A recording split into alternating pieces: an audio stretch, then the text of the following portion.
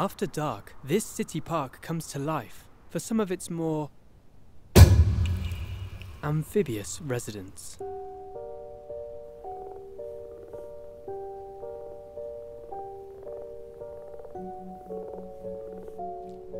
In their world, a night in spring is a busy one.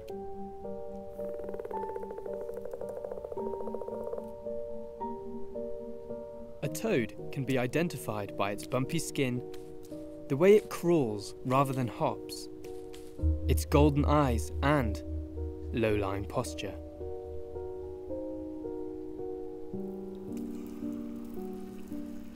This is a female.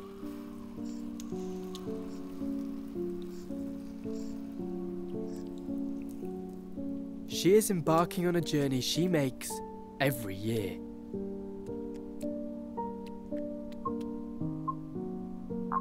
Highly anticipated by a chorus of males, they sing to attract her attention.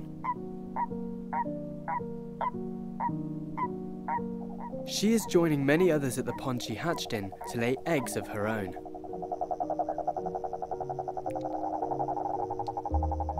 An impressive song wins a male his place on the back of a female.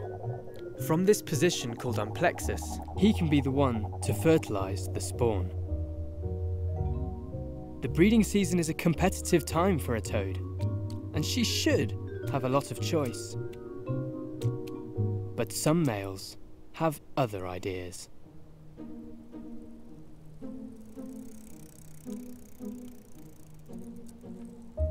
In a far less chivalrous manner, they lie in wait. Under the cover of darkness, it's an ambush. Before she's even got to the pond, he's already clinging on. This toad's not only jumping on her back, but he's jumping the queue.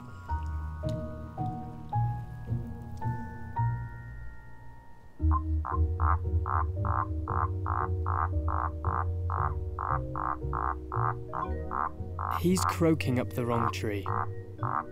There's no use singing to a taken female. These sneaky suitors can sit back and enjoy the view.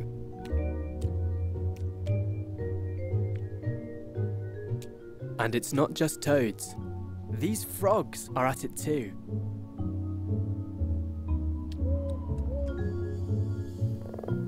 This may look a little confusing, but if you're late to the party, three isn't always a crowd. This frog has the right idea, but he's got the wrong species. Spawn can have multiple fathers, but a frog can't father a toad. This pair have gone all the way, but their eggs will never hatch.